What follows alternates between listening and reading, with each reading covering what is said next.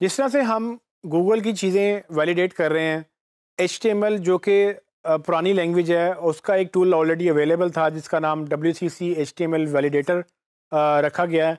ये basically H T M L का वो टूल है जो एच टी एम एल को वेरीफाई करता है कि क्या एच टी एम एल उनके कवानीन के मुताबिक है, जो इन्होंने ये कवानीन बनाए थे, यानी कि उसके भी रूल्स एंड रेगुलेशन फॉलो हुई कि नहीं हुई।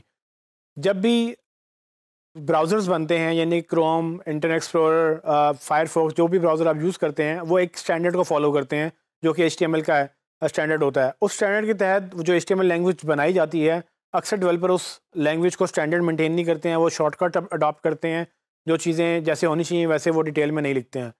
तो वैलिडेटर टूल बेसिकली ये हेल्प करता है आपको ये अंडरस्टैंड करने में कि क्या आपकी वेबसाइट का एचटीएमएल कोड प्रॉपरली स्ट्रक्चर्ड है या नहीं है।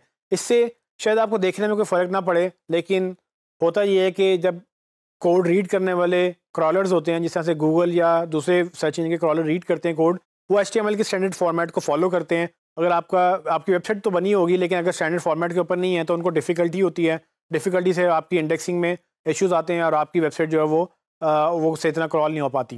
तो आपने ये चेक करना होता है कि क्या वेबसाइट एच वैलिडेट है या नहीं है। अक्सर डेवलपर इस बात से काफ़ी एतराज़ करते हैं कि दुनिया में कुछ भी एच वैलिडेटेड नहीं हो सकता क्योंकि इतनी परफेक्शन कहीं पर भी नहीं है।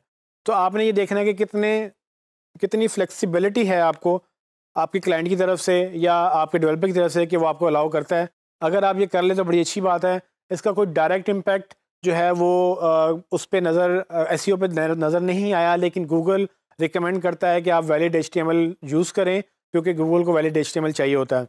मैं आपको एक टूल में छोटा छोटा टेस्ट करके दिखाऊँगा कि किस तरह से आप एच टी वैलिडेटर को यूज़ करके एक टेस्ट जनरेट करेंगे और उसमें आपको इशूज़ ढूंढेंगे कि क्या क्या इशूज़ आपके वेब पेज पे हैं और ये इशूज़ आप बेसिकली अपने डेवलपर को भेजेंगे या उनको वो लिंक दे देंगे कि भाई ये सारे इशूज़ हैं, हमारी वेबसाइट में इसको फिक्स करके दें। तो ये एक अच्छी आदत है कि अगर आप वेबसाइट जब बनवाने जाएँ तो उनसे पहले ही बात कर लें डेवलपर से कि हमने आखिर में ये वेबसाइट वैलिडेट करनी है तो आप जो भी कोड लिखेंगे मेक श्योर करेंगे वो स्टैंडर्ड कोड होगा, ताकि वो हम वैलिडेट करें तो उसमें कोई एरर नज़र ना आए। और अगर एरर नज़र आए तो आप फिक्स करेंगे। ये कमिटमेंट अगर पहले की हो डेवलपर से तो डेवलपर को पता होता है कि वो क्या करने जा रहा है। शायद वो आपसे थोड़े से पैसे ज़्यादा मांगे इस काम के लिए, क्योंकि इसमें उनकी थोड़ी मेहनत ज़्यादा होती है। लेकिन एक दफ़ा अच्छी वेबसाइट बनवाना ज़्यादा बेहतर है बजाय से कि आप दस दफ़ा एक एक पथेटिक वेबसाइट बनवाएँ तो मेक श्योर करेंगे कंटेंट का जो है आपका वो वैलिडेशन वाला पार्ट वो प्रॉपर हो। सो एच वैलिडेशन में आपको अभी करके दिखाऊँगा। आइए चलते हैं। सो ये डब्ल्यू थ्री सी का बेसिकली मार्कअप वैलिडेशन सर्विस यानी कि एच वैलिडेटर भी इसको बोलते हैं। ये टूल है validator dot W three dot O R G पर ये होस्टेड है। ये basically W three dot O R G वो ग्रुप है जो एल को डिफाइन करता है। सो so, जो लोग ये कहते हैं वो H T M L four H T M L five असल में ये ग्रुप ये डिसाइड करता है। और इसके ग्रुप में गूगल बेंग या दूसरे सर्च इंजन या सारे इंटरनेट एक्सप्लोर जो जितने भी ब्राउज़र हैं उन सब की टीम में बैठती हैं जो कि मिलकर ये डिसाइड करती हैं कि एच में नेक्स्ट क्या होगा। सो so, ये बेसिकली बड़ा हाईली क्वालिफाइड रिसोर्स है जिसमें आप जाके ये अपनी एच को टेस्ट कर सकते हैं। इसके अलावा आपको कोई और टूल ऐसा मिलेगा नहीं। जो भी और टूल यूज़ होते हैं बेसिकली इसी की सर्विस यूज़ करते हैं। ये फ्री टूल है। इसको मैं अभी मैंने डिजिटल की वेबसाइट इसमें ऐड की है। मैं इसको चेक करता हूँ और देखता हूँ कि इसमें कितने एच वैलिडेशन एरर्स हैं। और अगर हम ये डेवलपर को भेजेंगे तो वो कितने इसमें से फिक्स कर सकेगा और कितने नहीं। जैसे कि आप देख सकते हैं कि वैलिडेटर ने मेरी वेबसाइट के ऊपर, हमारी जो डिजी स्किल्स की वेबसाइट उसके ऊपर वो टेस्ट किए हैं और ये एरर उन्होंने सारी लिस्ट कर दी हैं। देखने में ये काफ़ी टेक्निकल लग रहे हैं, कुछ इसमें एरर हैं, कुछ वार्निंग्स हैं, लेकिन ये आपको घबराने की ज़रूरत नहीं है, क्योंकि ये आपका काम ही नहीं है। ये बेसिकली डेवलपर्स ने इसको ठीक करना होता है। आपका सिर्फ़ इतना काम है कि आपने ये चीज़ें निकाल के उनके हवाले करनी है और उनको बताना है कि जी हमें ये फ़िक्स चाहिए। तो अगर आप क्लाइंट के साथ काम कर रहे हैं तो क्लाइंट को इंश्योर करेंगे कि ये इश्यूज़ एग्जिस्ट करते हैं और हमें ये ठीक करने हैं। तो वो क्लाइंट अपने डेवलपर से खुद ही काम करवा लेगा।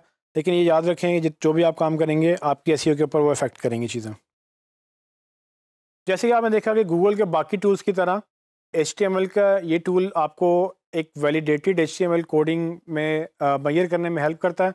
जब आप ये विन कर लेते हैं तो अक्सर वेबसाइट के फुटर में आपने देखा होगा कि W C C H T M L four या X H T M L one point one ये बैजेस भी मिलते हैं जो वेरीफाई करते हैं कि ये एक्चुअली वेबसाइट जो है ऑप्टिमाइज्ड है। सो so, um, आपने वेबसाइट को एच को ऑप्टिमाइज़ करना है लेकिन अगर आपको रेजिस्टेंस नज़र आए क्लाइंट की तरफ़ से या डेवलपर की तरफ़ से तो उस पर इतना ज़्यादा फोकस मत करें। उनको बता दें कि इसका नुकसान क्या होगा कि गूगल आपको कोड वैलिडेटेड माँगता है। अगर नहीं होगा तो गूगल शायद हो सकता है कि आपको ट्रस्ट बिल्ड ना कर सके। लेकिन अगर ये पॉसिबल है तो ज़रूर करवाएँ। नहीं तो उसको मतलब इतना सीरियस इशू मत बना लें कि क्लाइंट आपसे नाराज़ होकर कहीं हो जाना चाहे। तो आपने इसको सजेशन में ज़रूर देना है कि हमें ये करना चाहिए। अगर वो करेंगे तो बड़ी अच्छी बात हो जाएगी।